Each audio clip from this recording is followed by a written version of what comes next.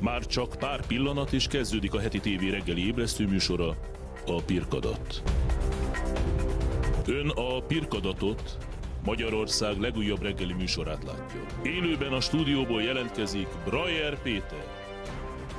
A Pirkadat mai vendége Kunce Gábor politikus volt, belügyminiszter, pártelnök, Haksameach.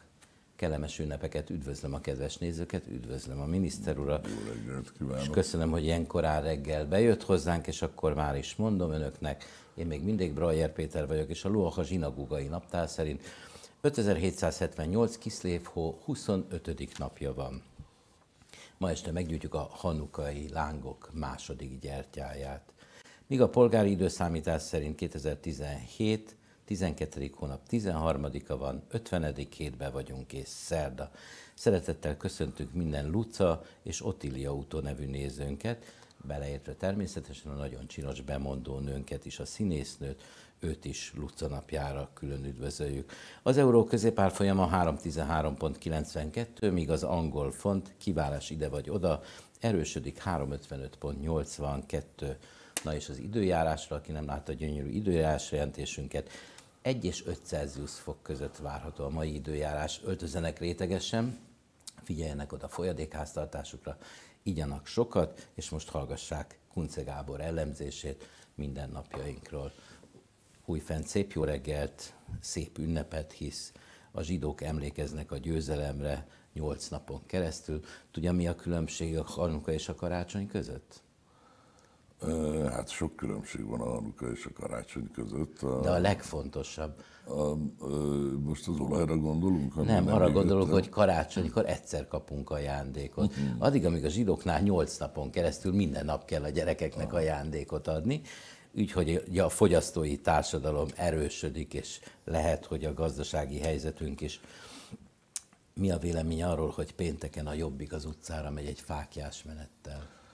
Én megértem a jobbikot, mert ami velük történt, az egyszerűen felháborító, egy demokráciában megengedhetetlen, különösen a Fidesz részéről, amelyik, ha igaz, amivel a jobbikot vádolja, ugyanazt csinálta például 2010-ben, szerintem még 14-ben is, és egyébként pedig 1998-ban pedig akkorát csaltak idézőjelbe téve a választási abban a pártfinanszírozáson, hogyha akkor azt ott számon kérték volna rajtuk, akkor ma már Fidesz sem létezne, az egy 1 milliárd forintos összeg volt. A Jobbik azon háborodik fel, hogy minden. Én most gyorsan el kéne határolódjak, hogy ez az ön véleménye, mert nekünk pénzünk nincs jogászokra, de ön biztos tudja, mit mond. Én 1998-ban négy sajtótájékoztatón mutattam be azokat a postabank szerződéseket, amelyekből kiderült, hogy egy milliárd forintot fizettek a Mahírnek, azért, hogy a postabankot reklámozza a különböző felületein, de, majd, de a, egyébként 98. augusztusától a postabankot felszámolták, évvégéig ki volt fizetve az összes Mahír felület a fővárosi oszlopok, a plakáthelyek, a Magyar Nemzet és még egy újságnak a egész oldalas éves hirdetései, a pénzt nem adták Akkor vissza. Akkor a Mahír kinek a, a tulajdonában volt? Hogy? Mahír? A, a Simicska tulajdonban volt, és mind, mindegy, csak ezt érdekeséként mondom, hogyha akkor azt ott befizettették volna a Fidesz, nem lenne Fidesz. Szóval visszatérve, az, hogy a NAV és a állami számvevőszék egy szemmel láthatóan összehangolt támadást intéz egy politikai párt ellen, védhetetlenül tulajdonképpen és szemmel láthatóan tönkre akarja tenni, úgyhogy megértem a jobbikot, hogy egy ilyen tüntetés szervez. Ha a kérdés arra is vonatkozik, hogy én elmegyek-e, vagy elmennék-e a jobbik mellett tüntetni, azt mondom, hogy nem, mert ott... Azért mégsem csalódtam önbe. Mi a véleménye arról, hogy az LMP és a Momentum viszont együttműködik velük, illetve támogatóként kivonulnak velük? Olvastam az LMP egyik politikus, vagy hallottam a nyilatkozatát, aki azt mondta, hogy 5000 forinttal támogatni is fogja a jobbikot, bár ő nem jobbikos, meg nem is ért sok mindenben egyet a jobbikkal, de hát most ki kell állni a demokrácia és a jobbik mellett. Hát szerintem ez azért a demokrácia meg a jobbik, ez lehet ám, hogy két külön fogalom lesz még egy jó darabig. Én nem értek egyet velük, de az ő álláspontjukat is tiszteletben tudom tartani. Ön valamikor az SDS vezető politikusa volt, ennek az utott pártja a liberálisok. Mit jósol nekik? Vegye elő az üveggömbét és mondja el, hogy meg fognak erősödni, hisz nagyon aktívak. Hát ugye 0 és 1 százalék között mérik őket, és szerintem ebből a pozícióból nem fognak tudni elmozdulni. Valóban aktívak, de olyan témákat vettek elő, amelyek ugyan fontosak sok ember számára, de nem annyira, hogy ez határozza meg a politikai döntésüket akkor, amikor majd szavazni mennek. A kanabisz legalizálására, vagy a kanabisz orvosi felhasználására? Hát igen, ez az egyik téma, ugye a másik pedig az eutanázia témaköre. Ezek, mondom, fontos De foglalkoznak a szegénységgel is. És az egész világban.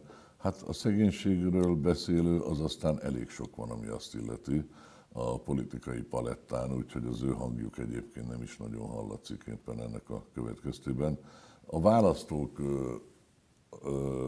szóval az a baj, hogy nagyon nagy az étlap, és a választók azok arra fognak húzni, ahol úgy látják majd, hogy nem vészel a szavazatuk, mert az a választó, amelyiknél, amelyiknél szóba jön például a liberális párt is potenciális támogatható pártként, ezek a választók, ezek kormányváltást akarnak, és meg fogják nézni, hogy hol van a legnagyobb esélye az ő szavazatuknak ezen cél elérése érdekében. Lehet, hogy nem lesz kormányváltás, de ők azt gondolják, hogy olyan pártra kell adni, amelyik biztosan ott lesz. Ezért csatlakoznak a szocialistákhoz. Hát, mint ahogy csatlakoztak négy évvel is ezelőtt is, a 2014-ben az összefogáshoz.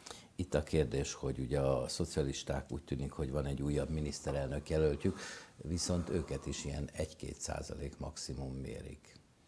Hát és ott látok én még egy problémát, ugye az nem tisztázott, hogy Karácsony Gergő, aki azt mondta, hogy ő az ellenzéki összefogás miniszterelnök jelöltje akar lenni, mit tesz akkor, ha nincsen ellenzéki összefogás. Egyelőre ugyanis úgy tűnik, hogy a DK nemet mondott, az LNP, a Momentum az együtt nemet mondott, hát a liberálisok mondtak egy igent, és akkor ugye fölmerül majd a kérdés, hogy Karácsony Gergő akar-e a szocialisták miniszterelnök jelöltje lenni, mert ennyire le fog egyszerűsödni és ez a döntése, ez még hátra van, e tekintetben még egyértelmű nyilatkozatot nem hallottunk tőle. Ez azért problematikus, mert ha mondjuk februárra kiderül, hogy nincs ellenzéki összefogás, mire ő azt mondja, hogy na ja, én akkor a, nem tudok így vállalkozni, akkor az MSZP-nek továbbra se lesz miniszterelnök jelölt. Világos, de van valami érthető válasza az, ellendi, az ellenzék teszetozhatóságára, tehát arra, hogy képtelenek bármi normálisat tenni? Ne, nekem nincsen rá elfogadható válaszom, de nem is az én feladatom lenne, de egy biztos, ezt hónapok óta mondom, mert ez látható volt, hogy ha nem talál egy megkérdőjelezhetetlen személyiséget az ellenzék, aki, akire egyrészt azt lehet mondani, hogy emberek, hát ha ő rá szavaztok, akkor ő lesz a miniszterelnök, ahelyett a másik helyett. Ha ilyet nem találnak, és ugye a másik feltétel persze, hogy és annyira megkérdőjelezhetetlen az illető, hogy nem tud más csinálni az LMP és a Momentum sem, mint hogy beáll mögé.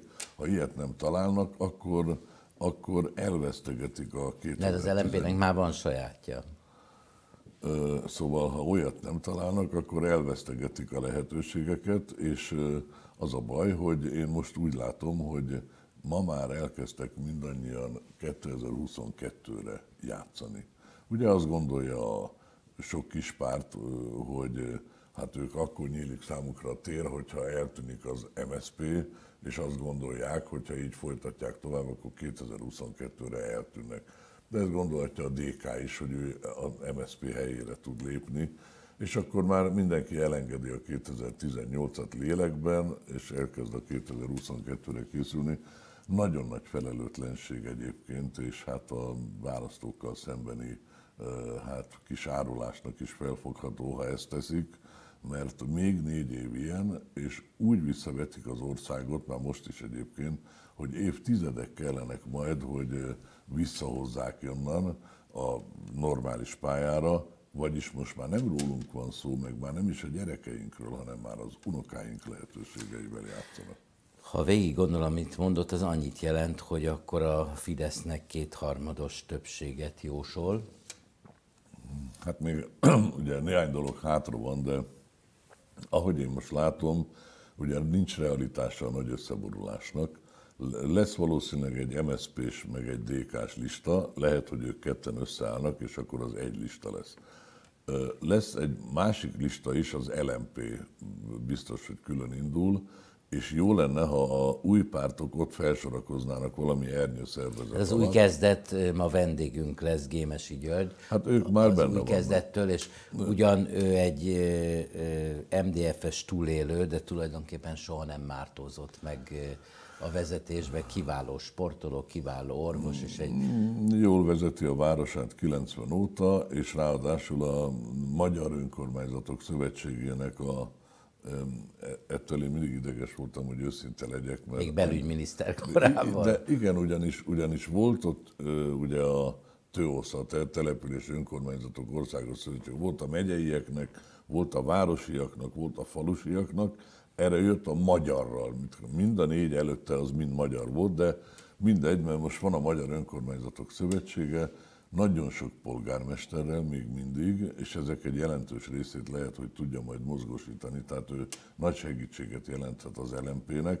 Szerintem ide kéne beállni a többinek is, tehát a PM-nek is, az együttnek is, de egy szervezetben nem nem felsorolva egymást, mert akkor 15%-ot kellene elérniük, és akkor listán nincsen vesztes szavazat, erre futtatom ki. Na de a PM és az LMP valamikor házasságba éltek, tehát exek. E, igen, de lehet még, hogy...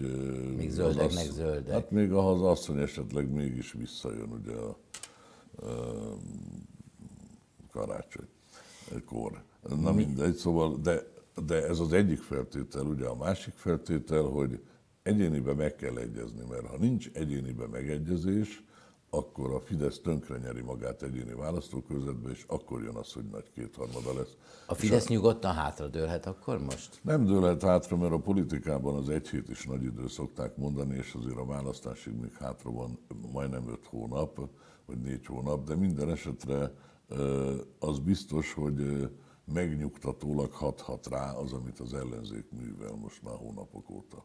Az elmúlt percekben egyszer sem említettük a jobbikot, tehát most, amikor így megnéztük, hogy ki hova kerül, eh, ma, illetve ezelőtt még egy hónappal ők voltak a legnagyobb ellenzéki párt.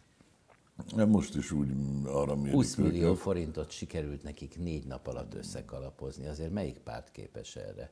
Attól független, hogy én szeretem vagy nem szeretem, valami azért itt van. Na hát az a párt, amelyiknek van ö, nagy befizetője. Hát most 20 milliót sikerült összekaparni, de nem tudjuk, hogy nincs közte egy darab 10 milliós befizetés. De a, a, a Jobbik is bajban van, mert szemmel láthatóan nem tud kitörni abból a szintből, ahová bejátszotta magát. Ugye Vona Gábor nagyon erősen hangsúlyozza, hogy ők néppárt és jönnek visszafelé középre, miközben a tagsága, amelyik korábban szerette a masírozást, a felvonulást, a félelemkeltést, a, a, a nem-nem soházást a különböző rendezvényeiken, az meg hát egy kicsit meretten követi, és belül kezdenek feszültségek keletkezni. Úgyhogy az bizonytalan, hogy ővelük, szintén bizonytalan, hogy ővelük még mi fog történni de egy biztos, hogy szaporodnak. nem lehetséges, hogy én azokkal meg nem értek egyet a demokratikus oldalról, akik a jobbikkal való együttműködést szorgalmazzák, annál is inkább nem, mert az a jobbik a Fidesztől visz. Hogyha most a jobbikkal összeállna a MSZP vagy a DK, teljesen mindegy, akkor a jobbik szavazóinak egy része az elmenne a Fideszhez a MSZP vagy a DK szavazóinak egy része meg egyből otthon maradna, mert azt mondja, hogy ne ezt túlzás. Hát én bízom benne, hogy azért a jobbikkal csak nem áll össze senki. Azok a liberális értelmiségiek, akik viszont azt mondják, hogy jó lenne velük összeállni, szerintem akár tévedhetnek is. Nagyon nagyot tévednek. De nekem, mint műsorvezetőnek nem ez a feladatom, hogy a véleményem elmondjam, hanem hogy beszéltessem önt. Öröm volt önnel találkozni, legközelebb itt folytatjuk. Kedves nézőim, az elmúlt negyed órában Kunce Gábor volt belügyminiszter, politikus, pártvezért volt stúdiónk vendége. Bízom benne, hogy egyre többet fogjuk őt látni. Most előzetesek majd következik dr. Bajka István, Erzsébetváros alpolgármestere, a 6 és 7. keleti Fidesz vezetője. Tartsanak velünk!